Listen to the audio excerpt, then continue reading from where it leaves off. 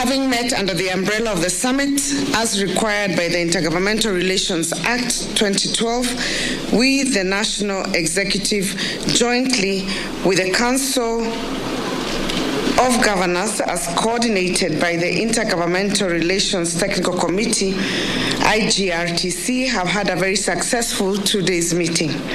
The meeting has culminated into critical policy proposals and decisions that, if implemented, will enhance the intergovernmental relations between the two levels of government.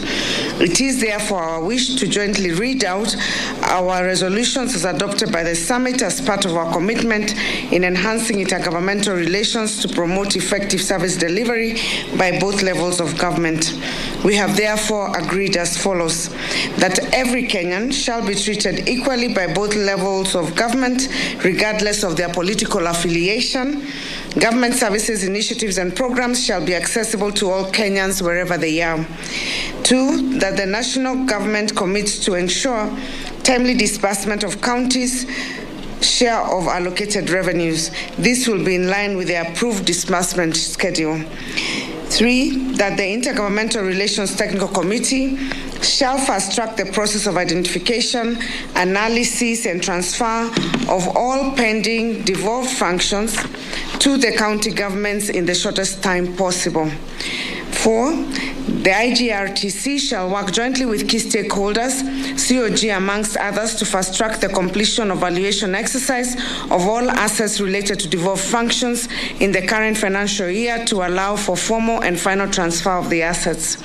Five, that all the existing intergovernmental legal cases by by one level of government against the other level of government shall be subjected to alternative dispute resolution as provided for under the Intergovernmental Relations Act 2012 through IGRTC. Equally, KRA shall withdraw all matters against county governments from court and seek alternative dispute resolution.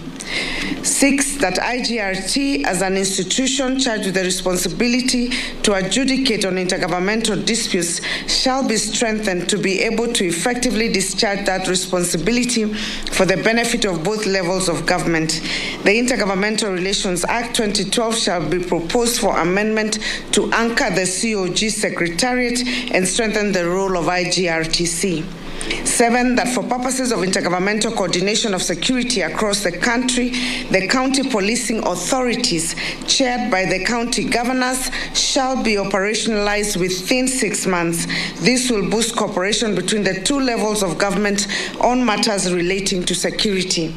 Eight, that for purposes of ensuring availability of a comprehensive health insurance scheme for all Kenyans, the national government shall institute a process to restructure the National Health Insurance Fund to be a fit for purpose insurance scheme.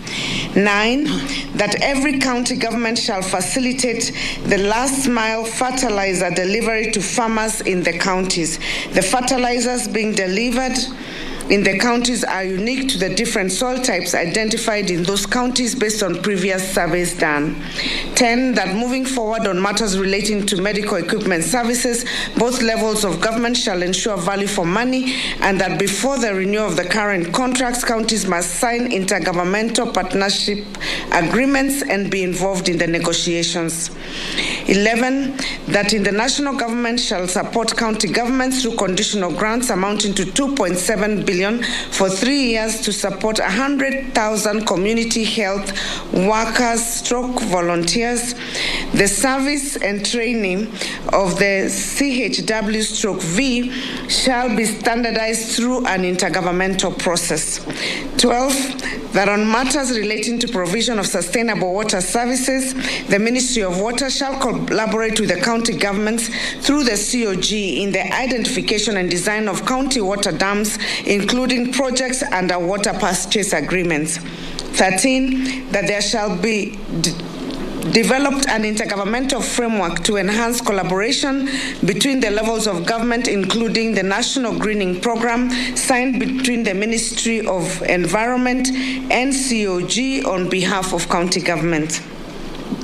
14, that there shall be developed a standard intergovernmental engagement framework that prescribes the obligation as well as the benefit of each level of government for ease of coordination and implementation of the affordable housing program.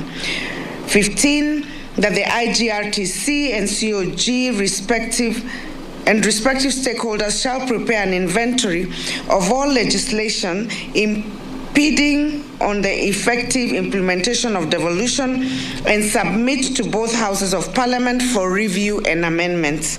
Similarly, all proposed legislations currently in parliament that are deemed to claw back on devolution shall be withdrawn and a consultative process to be instituted before they are reintroduced to either house of parliament. The Attorney General shall introduce an omnibus bill to Parliament amending all legislation that impede on devolution. 16. That for purposes of ensuring effective intergovernmental coordination of concurrent functions relating to state corporations, COG shall in the next one week forward a list to the Office of Deputy President of State Corporations performing related county functions requiring counties representation for consideration and inclusion. 17, that county governments shall develop a framework on ECDE and seek advice from SRC on an affordable package for the management of the function. County governments shall draw resources from their own revenues to support that function. 18, that the national government through the deputy president office shall work with COG, respective line ministries to develop a framework that will regulate licensing of bars in county governments.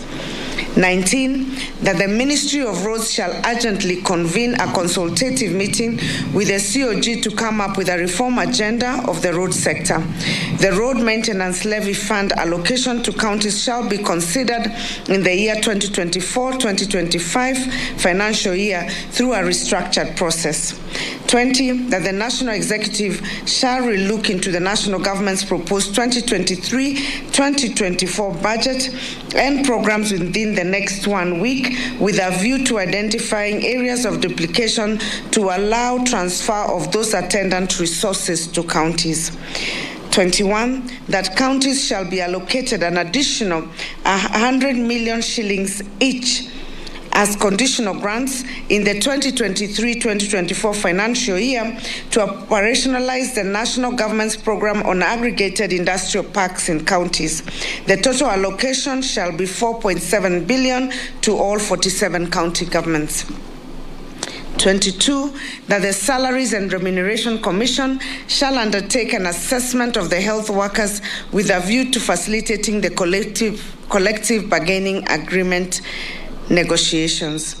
And finally, 23, that the Ministry of Health to extend the contracts of UHC staff for a further period of three years term under the same terms and conditions. Thank you. Very good. Very good.